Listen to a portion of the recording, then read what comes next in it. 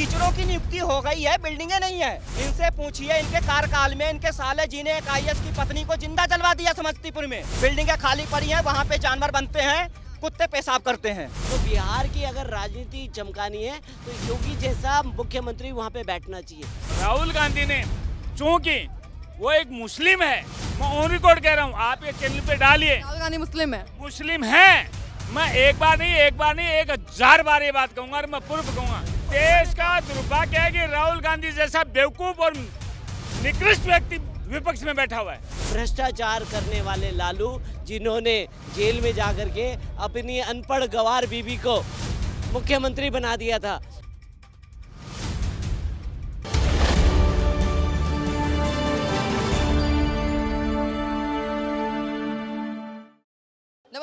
देखें the news 15 और आपके साथ मैं सुनने इस वक्त मैं दिल्ली के कैनॉट प्लेस में मौजूद हूँ, और आज का हमारा विषय जो है काफ़ी चर्चित विषय और काफ़ी खास विषय है। एक तरफ़ जहाँ बिहार से खबर आ रही है लगातार कि बिहार में जो है पुलों के गिरने की चर्चा काफ़ी ज़्यादा हो रही है। एक तरफ़ जहाँ कल की अगर हम बात करें, कल सारण ज़िले में एक पुल गिर गया है। उससे पहले की बात करें, उससे पहले भी लगातार सहारनपुर में तीन से ज़्यादा जो है पुल गिर चुके हैं, और इस पर जो है लगातार विपक्ष जो है निशाना साध रहे नीतीश कुमार पर।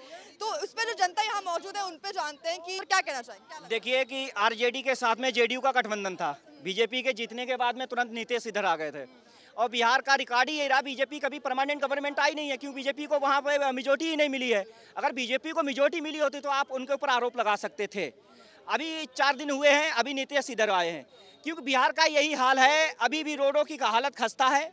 जो इन्होंने टीचर की जॉब निकाली थी, ढोरा पीट रहे थे, ये कर दिया, वो कर दिया, कुछ नहीं है, वहाँ टीचरों को सैलरी मिल नहीं, वहाँ स्कूल ही नहीं है। बहुत से टीचर यूपी के ऐसे गए शाहजहाँपुर हरदोई के बता रहे थे बच्चे, कि वहाँ गए, वहाँ स्कूल ही नहीं है, पढ़ाएँगे किसको? टीचरों की नियुक्ति हो गई है बिल्डिंगे नहीं है बिल्डिंगे गिर गई हैं, कहीं तालाब के पास, गाँव के किनारे, कहीं तालाब के पास होती, नहर के पास, लोग वहाँ के ईंटें का कर दी तो इस तरीके का चल रहा था, पुल है, या कई बार बिहार में घटना हो चुकी है, क्योंकि जहाँ पे भ्रष्टाचार हो रहा है सबसे बड़ा बिहार का दुर्भाग्य है यूपी का भाग्य जब जगह तो एक बीजेपी गवर्नमेंट आई है। तो एक ईमानदार गवर्नमेंट मिली, उसने बीजेपी का कुछ हद तक सुधार किया। क्या अभी सात आठ एक्सप्रेस वे मतलब पाँच छः तो बन रहे हैं तो दो तीन बन भी गए हैं। तो यूपी का एक रोडों का जाल बन चुका बन चुका है। इंफ्रास्ट्रक्चर पर नितिन गडकरी ने बहुत ज़्यादा ज़ोर दिया। बिहार के अंदर सबसे ज़्यादा करप्शन चल रहा है। बिहार के अंदर लालू यादव ने जो बयान दिया है, इनसे पूछिए, इनके कार्यकाल में, इनके साले जी ने एक आई की पत्नी को ज़िंदा जलवा दिया समस्तीपुर में। आप ये नेट पे सर्च करिए ना? तो बिहार में यही चल रहा था, जिसको पाओ उसको काटो, जिसको पाओ उसको लूटो। अरे लोगों की तो बात छोड़ो, जानवरों तक का चारा खा गए। अभी ये जेल में गए थे, झारखंड में बंद रहे कुछ दिनों के लिए। तो रांची जेल में रहे तो इन्हें भारत रत्न मिलने वाला था, राष्ट्रपति मुर्मू देने वाली थी। अभी वहाँ से और वही केजरीवाल कर रहे हैं। तो बिहार के अंदर जो चल रहा, हमें लग रहा है जब तक वह मेजोरिटी में गवर्नमेंट नहीं आएगी। देखो जब से डिजिटल इंडिया हुई है 2014 के बाद में डिजिटल इंडिया हुई है, जब से सोशल मीडिया का टाइम आया है यूथ एक्टिव हुआ है। यूथ एक्टिव हुआ है, अब इन लोगों को पहले हु हल्ला करके माइक से बोल के चुनाव जीत जाते थे। इनको जो पहले के जो कुछ नेता थे, वो इन्हें प्रकट करके मुलायम सिंह को यूपी में बनाया रथ यात्रा रोक के इन्हें बिहार में बनाया। तो उस समय ये चल गए। लेकिन अभी क्या है, अभी डेवलपमेंट का है प्रोग्रेस जो विकास करेगा वही आगे जाएगा। लेकिन अमेरिका ने कुछ हद तक यहाँ जहाँ सरोज ने 800 करोड़ फंड बांट के ब्रेन वाश किया गया, वोटर इधर उधर हो गया, संविधान का डराया गया। लेकिन हमें लगता है आगे आने वाले टाइम में ये सब कुछ सही होगा।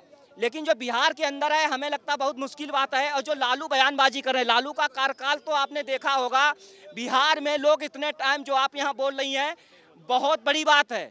वहाँ पे आप इतने टाइम निकलेंगी, गर्दन नहीं तो पैर नहीं पैर नहीं तो आँख नहीं। गुंडागर्दी वहाँ पे मतलब? अभी भी वहाँ दहेज में गाड़ी मिलेगी, आपको शाम को तिलक चढ़ेगी, सुबह आप चलाएँगे, शाम को छिन जाएगी। यही चल रहा है। वहाँ मीडिया एक्टिव नहीं है। ये एक वो आया था कश्यप नाम करके, वो भी फिर पॉलिटिकल में चला गया। वो भी एक्टिव हुआ, हमने सोचा कुछ करेगा। एक दो बार जेल के अंदर गया, लेकिन नहीं, मीडिया को बिहार में बहुत ज़्यादा एक्टिव होने की ज़रूरत है, जैसा कि केरल, बंगाल और जम्मू में। अब क्या किया जाए? एक आठवीं पास का बोलता हम तुमको रोज़गार देंगे। M B A B B A I S I P S नीचे ताली बला रहा है हमें रोज़गार देगा। मतलब ये चल रहा पागलपंथी बिहार के अंदर। ऐसे विकास होगा। आठवीं पास रोज़गार दे रहा है और बीटेक रोज़गार मांग रहा है। बिहार की जनता कहती है कि सड़क बनती है लेकिन बनते खराब हो जाती है। बिहार के अंदर कुकुर मुत्ते जैसे जो कॉलेज खेले कुछ यूपी में भी थे अभी वो बंद हो गए हैं। बिल्डिंगें खाली पड़ी हैं वहाँ पे जानवर बनते हैं। कुत्ते पेशाब करते हैं। जैसा कि दिल्ली में इसमें डिस्पेंसरी में कर रहे हैं जो मोहल्ला क्लिनिक बना था। ये भी फ्लॉप हो गया। बिहार में स्कूल जर्जर है, स्कूल है नहीं कहीं कहीं टीचरों की नियुक्ति हो गई है। कुकुर मुत्ते जैसे जो कॉलेज खुले हैं, स्कूल खुले हैं, वहाँ डिग्रियाँ ली जाती हैं और वही डिग्री लेके जो पचास करोड़ अपने आप को बोलते हैं कि हम डरे हुए हैं, वही कहते हैं कि ये बेरोजगारी है बारह बारह पैदा करके।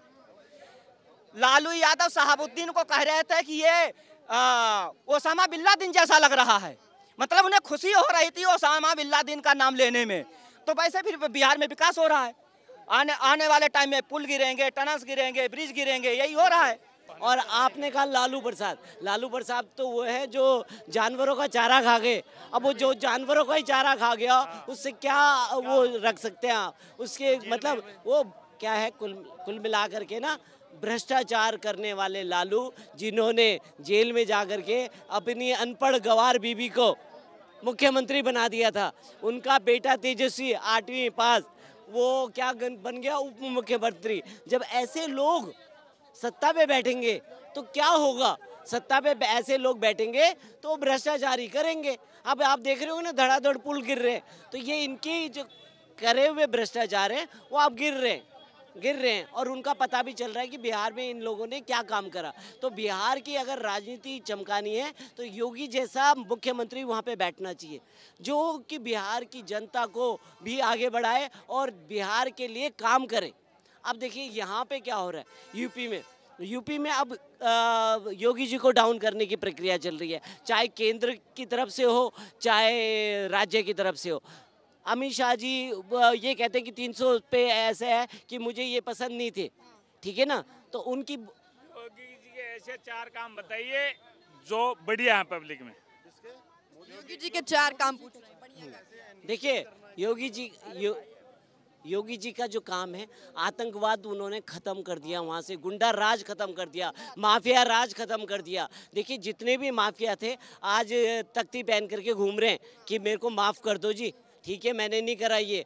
और आप मुझे जो भी कर सकते हो, वो करो। आज महिला सुरक्षित है खुलेआम घूम सकती है, नहीं तो पहले उसमें घूम नहीं सकती थी। और होता क्या था, एक ही काम होता था, इधर दलित आ गए मायावती आ गई तो दलितों का बोलबाला। इधर अखिलेश यादव या मुलायम सिंह यादव आ गए तो यादवों का बोलबाला। तो यही गुंडा राज चलता था।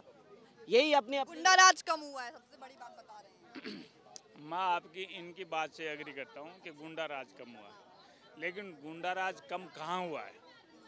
देखो, गुंडा लोग जो भी हैं, वो सरकार के सुविधाओं का फ़ायदा उठाते हैं। पहले यादव गुंडे थे, आज दूसरे गुंडे। आप ये मत मानो कि यूपी में सब कुछ ठीक है। नहीं। आप मेरा कलर देख के समझते हैं। मैं योगी जी और मोदी जी का बड़ा फ़ैन हूँ। लेकिन जो व्यक्ति शासन की खामियाँ नहीं गिना सकता। उसको इस देश में रहने का हक ही नहीं है। आप समझो। उन्होंने क्या किया है? उन्होंने दूसरे तरह का राज चालू कर दिया। आप समझो आज आप पुलिस थाने में चले जाओ यूपी के। पहले जो काम एक हज़ार रुपये में होता था आज बीस हज़ार रुपये में होता है। एक बात बताएँ। हाँ देखिए मैं ये कहना चाहता हूँ जैसे हमारे आदरणीय पूनिया जी कह रहे हैं कि योगी जी के इसमें भी बहुत कमियाँ हैं, मोदी जी के शासन में भी बहुत कमियाँ हैं। यदि कोई भी व्यक्ति ऐसी टिप्पणी करता है तो बिल्कुल हो सकता है वो सही कह रहे हो। जब वो पॉइंट गिनाएँगे तो उसका विश्लेषण होगा, एनालिसिस होगा। बट उन्हें सबसे पहले ये, उनके शब्द ये होने चाहिए कि हाँ जी compare to Congress when we are talking of the central government या कंपेयर टू मायावती और अखिलेश और Mulayam this government is very very good better उसके बाद उन्हें कहना चाहिए कि हाँ हालाँकि इनमें फिर भी कुछ कमियाँ हो सकती है। पहले उन्हें प्रशंसा करना नहीं पहले आपको ये प्रशंसा की प्रशंसा की एक लाइन ज़रूर बोली जानी चाहिए। जिस प्रकार बड़े बड़े गैंगस्टर्स को जिन्होंने पता नहीं कितनी हज़ारों एकड़ गरीबों की जिसमें सभी संप्रदाय के लोग थे भूमियों पे कब्जा करके अपनी झुग्गी बस्तियाँ बसा के उनसे वो पैसा लेते थे लैंड माफिया बने हुए थे। जिस प्रकार से योगी सरकार ने ध्वस्त किया है वैसा काम कांग्रेस तो छोटी है मत ना मुलायम सिंह यादव ने कभी किया उल्टा, वो मुलायम सिंह की सरकार ने तो आतंकवादियों से मुकदमे हटा लिए थे। वो तो जब हाई कोर्ट का डंडा पड़ा तो उन्हें मुकदमे उनके ऊपर वापस डालने पड़े। तो उस तरह की गंदी सरकारें देखी हैं यूपी ने, और मैं हमेशा कहता था उत्तर प्रदेश के लोगों को बात से, मैं आपकी बात से मतलब डिनाई नहीं कर रहा। इन्होंने मेरे को मौका नहीं दिया। आपने मेरे को इसलिए मौका नहीं दिया मतलब कैंप कंपेरेटिवली जो पहले की सरकार चल रही है, उनसे योगी जी का ठीक है। लेकिन आप किसी चीज़ को हंड्रेड परसेंट बता रहे हैं, वो गलत है। हंड्रेड परसेंट बता रहे हैं, वो गलत है। आप एक बात समझो, यदि आप एक हिंदुत्व को लेके चलेंगे, आप मुस्लिम्स को लेके चलेंगे, या ईसाइत को लेके चलेंगे, जैसे राहुल गांधी ने ईसाइत का डायरेक्ट मतलब मुजाहरा किया कहा? संसद में। वो गलत है। और मैं जो देख रहा हूँ, मेरी उम्र 62 इयर्स हो गई। मैं मेरे बच्चों को ऐसे देश में छोड़ के नहीं जाना चाहता जहाँ सांप्रदायिक दंगे होंगे। और मैं मैडम आपको ऑन चैनल कह रहा हूँ ऑन चैनल कह रहा हूँ हिंदू नहीं करेंगे लेकिन आपको मैं थप्पड़ मारूँगा आप रिएक्शन मारेंगे कि नहीं मारेंगे? मेरा ये कहने का मतलब है कि हिंदू सांप्रदायिक नहीं है लेकिन राहुल गांधी ने चूँकि वो एक मुस्लिम है मैं ऑन रिकॉर्ड कह रहा हूँ आप ये चैनल पे डालिए। राहुल गांधी मुस्लिम है। मुस्लिम हैं। मैं एक बार नहीं, एक बार नहीं, एक हज़ार बार ये बात कहूँगा और मैं पूर्व कहूँगा। मैं कोई भी बात जो कहूँगा, आपका चैनल मुझे यदि उसके एविडेंस मांगेगा, मैं दूँगा। क्योंकि मेरी एक बाइट आपके यूट्यूब की बात नहीं है, मेरी हर न्यूज़ चैनल पे आप मेरा चेहरे देख लीजिए। हो सकता है मेरे दाढ़ी हो, सफ़ेद डाडी हो रंगी दाढ़ी हो सेव क्लीन हो, लेकिन हर न्यूज़ चैनल पे मेरी बाइट मिलेगी। मैं किसी पार्टी का कार्यकर्ता नहीं हूँ। हाँ मोदी और योगी जी का मैं पर्सनल फ़ैन हूँ। लेकिन इसका मतलब ये नहीं कि वो गलत करेंगे उसका मैं ये इस करूँगा गलत कर रहे हैं आप? ये तो बताइए ये किया है कि 22 जून के बाद 22 जनवरी के बाद जो राम मंदिर का उन्होंने उद्घाटन किया मैं ये कहता हूँ राजस्थान में 11 सीटें हमने हरवाई हैं। मैं जाट महासभा का आज वर्ल्ड जाट महासभा का आजीवन सदस्य हूँ और आज से नहीं 1980 से हूँ। इन लोगों का जन्म नहीं हुआ होगा। इन लोगों का जन्म ही नहीं हुआ होगा। ये जो टिक्के लगा के घूम रहे ना, इनका जन्म ही नहीं हुआ होगा। मैं ऑल वर्ल्ड जाट महासभा का आजीवन सदस्य हूँ। आप कहो तो मैं आपको मेरी स्लिप भेज दूँगा। लेकिन जो प्रोग्राम इन्होंने 22 जनवरी के बाद किया कि हम संघ वाले हैं? बाईस, इस देश में संघ वाले नहीं हैं? नो इस देश का किसान मजदूर यदि नहीं है तो कुछ भी नहीं है। कोरोना काल आपने देखा है। यदि यदि मैं किसान हूँ हो सकता है मुझे किसान नहीं माने, लेकिन मैं किसान हूँ। मैं हाँ मेरे बच्चों को मैंने किसानी से निकाल दिया कि मुझे पता है कि किसानी और मजदूरी में क्या फ़ायदा है। लेकिन मैं ये ऑन रिकॉर्ड कहता हूँ, आप ये बाइक चलाइए, खूब चलाइए। मोदी जी अपने अहंकार की वजह से आ रहे हैं और ये एक बाइट नहीं है, मेरी नेशनल चैनल और इंटरनेशनल पर आपको बाइट मिलेगी। मोदी जी अपने अहंकार से आ रहे हैं। जी कितने सहमत हैं? सुनिए मैं आपको कहना चाहूँगा पहले तो मैं आपको बता दूँ कि मोदी जी हारे नहीं हैं। कोई ग्यारह सीट लाता है कोई तीन कोई कुछ लाता है। भाई साहब राजस्थान में हम घुटने टिकाएँगे हमने टिकाए ना? क्यों टिकाए? नहीं नहीं ये आप देखिए मैं ये उसको कह कहना भाई साहब मेरी तेईस जनवरी की बाइट देख लियो मैंने कहा कि वर्ष मेरा भी एज है और मैंने भारत में बहुत कुछ देखा। मैं राष्ट्रीय स्वास्थ्य सेवा संगठन का अध्यक्ष कर दें? क्या है? क्या मतलब देखो मैं आपको ही बता रहा हूँ। जब आप उसको गलत कह रहे हैं तो बताइए। ये है कि 22 जनवरी को मेरे को दो बंदे मिले थे यहाँ। उन्होंने मेरे हाथ से श्री राम का झंडा था मेरे पास। उन्होंने छीन लिया। उन्होंने कहा हम संघ से हैं। मैंने कहा बेटा तेरे को हम बताएँगे संघ का मतलब क्या? नहीं करता ऐसी कहानियों पे या तो आप सबूत दीजिए सबूत दूँगा मैं आपको। भाई साहब मैं आपको बता रहा हूँ। अरे मैं बासठ साल का व्यक्ति। बासठ साल का व्यक्ति बिना सबूत एक बात बताइए अगर संघ के दो व्यक्तियों ने मान लिया जाए मेरे को तो ये झूठ लग रही है बात। अगर छीन लिया झंडा तो पूरा संघ खराब हो गया। हो सकता है सबूत चाहिए? मेरा नंबर लीजिए मैं आपको भेजूँगा भेजूँगा। अभी दिखा दीजिए। इस पूरा संघ कैसे गलत हो गया उससे? How can you say that the whole Sangh is wrong ऐसे कभी होता है क्या? अरे दो संघ के आदमियों ने आपसे जी मैं दो बातें कहना चाहूँगा। एक केंद्र सरकार के लिए ये मोदी जी की बहुत बड़ी जीत है। समझने का नज़रिया अलग अलग होना चाहिए। आप इस चीज़ को समझिए तीसरी बारी मोदी जी 240 सीट लेके आ रहे हैं मात्र 40 या 30 सीट कम। अपने बहुमत से ये बहुत बड़ी बात है। आप ये देखिए कि पिछले जितने भी इलेक्शंस हुए हैं, आज के जो यंग जनरेशन वोटर्स हैं वोटर्स का देखिए, हमारे टाइम का वोटर और आज के वोटर में काफ़ी फ़र्क है। बहुत सारे यंग वोटर का रेशियो बढ़ा है आज के डेट में। आप जहाँ भी देख रहे हैं, जिस जिस स्टेट में आप देखिए, वहाँ पे जो गवर्नमेंट है स्वीप क्लीन क्लीन हो जा रहा है। करेंगे, एक जमाने में उत्तर प्रदेश के लोगों ने मायावती को पूर्ण बहुमत दिया था। उसके बाद अखिलेश यादव को पूर्ण बहुमत दिया हंड्रेड परसेंट तीन सौ से ज़्यादा सीटें दिया। आप देखिए नज़रिया देखिए सिनारियो देखिए आज के डेट में। योगी जी को पहली बारी जब इस इससे पहले क्लीन उनको दिया 300 से ज़्यादा लगभग साढ़े चार सौ के आसपास सीट दिया भाई साहब जहाँ तक मेरा अनुमान है चार सौ के आसपास सीट आया था योगी जी योगी जी को पहली बारी। 312 दूसरी बारी 400 के आसपास आया। तो अब ये देखिए आज का जो यंग जनरेशन है यंग वोटर है लोगों को क्लीन क्लीन मतलब अलाउ कर रहा है कि आप जाके वहाँ पे क्लीन तरीके से राज्य करिए, शासन करिए। मोदी जी पहली बारी आए पूर्ण बहुमत से, दूसरी बारी पूर्ण बहुमत से, तीसरी बारी अगर 240 आए हैं, ये बहुत बड़ी अचीवमेंट उनकी है। ये इसको हम बिलो कर रहे हैं, गलत कर रहे हैं। ये तीसरी बारी आना बहुत बड़ी अचीवमेंट है।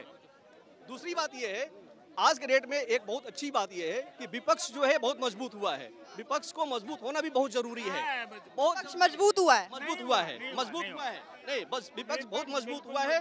देखिए पिछले तीन या चार दिन का आप लोकसभा का कार्रवाई अगर देखेंगे जो आवाज़ उनका पहले जिस तरीके से होता था दबे आवाज़ में बात करते थे संसद में लोकसभा के अंदर राज्यसभा के अंदर आज के डेट में वही विपक्ष किस तरीके से कुछ बातें तो पॉइंट्स की बोल रहे हैं लेकिन कुछ बातें उनके जो विपक्ष के नेता हैं बचकानी हरकतें अभी भी कर रहे हैं। उनको इस चीज़ को थोड़ा सा अपनी भूमिका को समझना पड़ेगा। एक विपक्ष का बहुत बड़ा रोल है।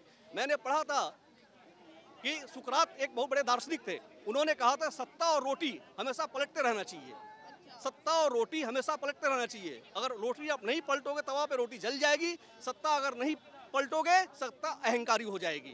इस वजह से। कौन दार्शनिक था सुकरात सुकरात मैं ये कह रहा हूँ आप विदेशी दार्शनिक पे था आपके अपना चाणक्य था देश का उस पे क्यों नहीं जाते? सुनिए नहीं नहीं इस देश की विडम्बना है कि एक- विदेशों में भरोसा करेंगे। अपने आदमी पे भरोसा अरे है। शिक्षा किसने? सुकरात 1300 सन 1300 के दार्शनिक थे। सीखा कहाँ से? बात कहाँ से। आज के डेट में सीखा कहाँ से? अहंकारी चाणक्य से कहते हो कि विपक्ष का। देखो मैं नहीं कहता मोदी मैं भी भाई साहब की तरह मोदी जी का प्रशंसक हूँ योगी जी का प्रशंसक हूँ। लेकिन इनके इनके बात से सहमत हूँ कि अहंकार नहीं आना चाहिए। हाँ। आज के डेट में हमारे सरकार के अंदर अहंकार आ गई थी। देखो सत्ता के अंदर राहुल राहुल गांधी ने भी तो यही बयान दिया कि हिंसा बढ़ गई है। मैंने आपसे क्या बोला? राहुल गांधी भी अभी बचकानी हरकत कर रहे हैं। उनको उनको आज के डेट में पहली बारी राहुल गांधी यहाँ पे पिछले पंद्रह बीस साल से राजनीति कर रहे हैं हमारे देश के अंदर लेकिन पहली बारी उनको एक इम्पोर्टेंट पद मिला है विपक्ष का किस बात का इम्पोर्टेंट है? एक मिनट। समझो इस बात मैं कह रहा हूँ। इस देश का दुर्भाग्य है। इस देश का दुर्भाग्य है कि राहुल गांधी जैसा बेवकूफ़ और निकृष्ट व्यक्ति विपक्ष में बैठा हुआ है। और मैं आपको बताऊँ 1977 से मैं अकेला नहीं हूँ। चौधरी चरण सिंह 1980 में एक रैली की थी यहाँ किसान रैली। मैं उसका सदस्य हूँ। मैं ये कह रहा हूँ कि यदि मोदी जी के पास थोड़ा सा भी ह्यूमर ऑफ़ सेंस राजनीतिक है तो हम जैसे आदमी को आगे प्रमोट करें। मैं आपको एक बात हूँ क्योंकि आप क्या समझते मोदी जी संघ की वजह से नहीं। हम कम से कम 11 लाख बंदे यहाँ इकट्ठे हुए थे, उन्होंने शपथ खाई थी। जब तक इस गांधी कांग्रेस को दफन नहीं कर देंगे, हम ना सांस से बैठेंगे, ना चैन से जिएँगे। मैं ये बताता हूँ, लेकिन लेकिन जैसे चाणक्य ने कहा था यह मेरी बाइट, आप समझो। जैसे चाणक्य ने कहा था विदेशी माता का पुत्र कभी भी देशी नहीं हो सकता। वो उसने साबित कर दिया। विपक्ष के नेता बनते ही। अरे, किस बात का घमंड है? जो आदमी 9 परसेंट वोट लेके बैठा हुआ था और उसको साढ़े अठारह परसेंट वोटिंग मिल गई, क्या समझते हो अपने आप को? इधर ही हम अपना जो है आज का शो खत्म करते हैं और वही देखते रहिए न्यूज़ फिफ्टीन। कैमरामैन गोविंद के साथ में सुनने का